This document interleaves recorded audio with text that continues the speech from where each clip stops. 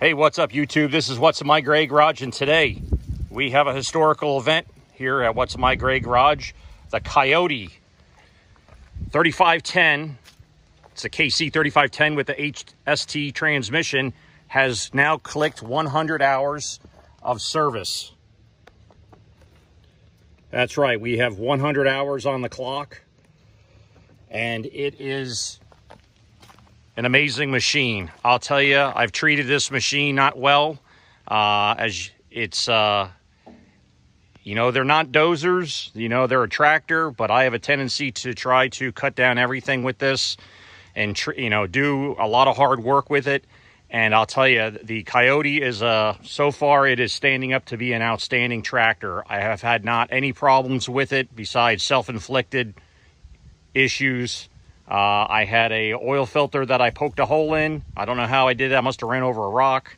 And I had the bucket quit working on me. And I found out that I had hit a sapling and it had knocked the uh, oil, or not the oil, but the hydraulic lines loose. Just a hydraulic line loose over here on this connector. That's the only That's the only thing with this I think it could use is a nice shield to protect these hydraulic lines. I don't know how they would do that where it wouldn't interfere uh, with the operation, but I think if they could put something here to cover these, that would be like the only thing I could recommend on this tractor.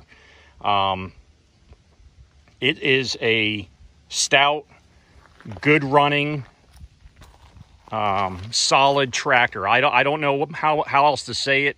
Um, it, they just make a good product. It's strong. It's, it does everything I've wanted it to do and then some.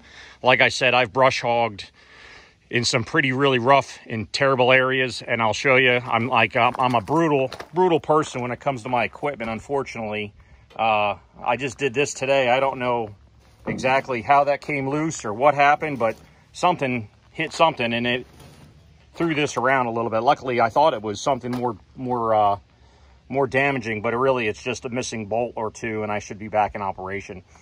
But this is the uh, Titan uh, implement that I have on here, the Titan uh, brush hog. I think it's like a five foot br br brush hog with the uh, with the slip clutch, not the um, shear pin.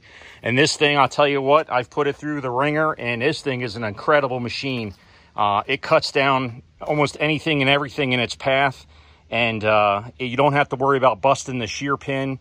You just plow right through it and keep going. My problem with it is I, I've hit some stuff pretty heavy on it and busted up this the outer edge of it and dented it in. So when the when the blade starts, uh, actually when it's slowing down, you'll hear it clicking because it's hitting the metal. So I, what I'm going to have to do is come in here and cut relief cuts and then hammer it out and then probably take grind this grind this down and run a like a one inch strap all the way like a you know a, a quarter inch or maybe three eight strap all the way around the edge here and to give it a reinforcement so it doesn't bend so easy. That's the only downside to this uh, to this design is it just doesn't have any any reinforcement there. So the metal bends pretty easily. That's the only thing i'd recommend on that.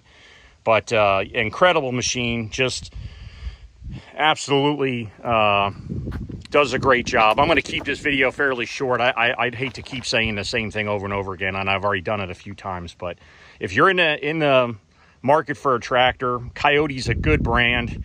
Um, a lot of times the dealers are really good. They've got, you know, you'll have most, sometimes you'll see them paired up with Bobcat or uh, other uh, heavy equipment type um, uh, machinery, and they're you know, find a dealer you like and, you know, check it out. I'm not saying that John Deere and Massey Ferguson and um, those tractors are, are bad. I just think that I got a better deal with the Kioti. Uh, I think they, they, they, they just, you know, they, they want to make a name for themselves and they're out there trying to do it.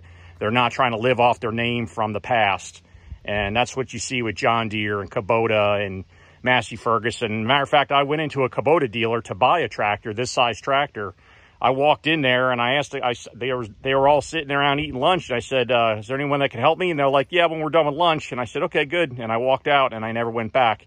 And uh, so that guy lost the sale of a tractor. So I went from actually wanting to get a Kubota and I went to the Kioti and I bought the Kioti instead because, you know, someone was being a jerk and thought their uh, lunch was more important. So they missed a sale. So good on them, right? Uh, anyways, if you liked the video, please like, share, subscribe, and uh, we will see you next time.